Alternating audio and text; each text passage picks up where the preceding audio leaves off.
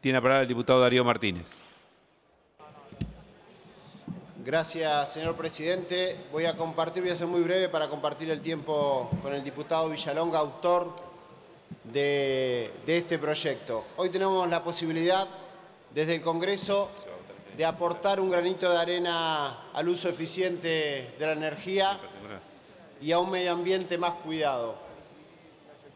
Este es un proceso que comenzó en el 2010, señor presidente, con la ley 26.473, en la cual se prohibía la importación y comercialización de lámparas incandescentes. Ahora vamos por un paso más y tiene que ver con la misma prohibición a la importación y comercialización de las lámparas halógenas. Hoy el 20% del uso de la energía está destinado a la iluminación.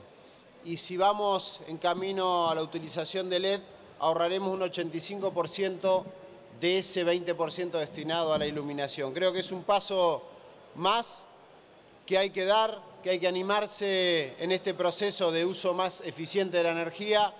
Por supuesto, no es menor en el bolsillo del usuario argentino. Con los tarifazos que está padeciendo el pueblo, estamos hablando en una vivienda tipo, utilizando cuatro lámparas, se puede ahorrar entre 2.200 y 3.800 pesos al año. No es un dato menor en los bolsillos tan castigados.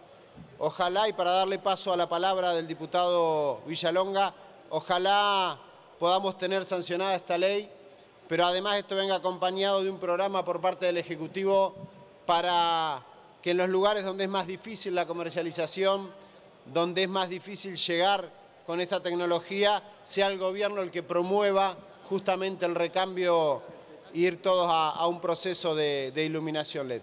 Gracias, señor presidente, y le doy la palabra al diputado Villalón. Gracias, señor diputado.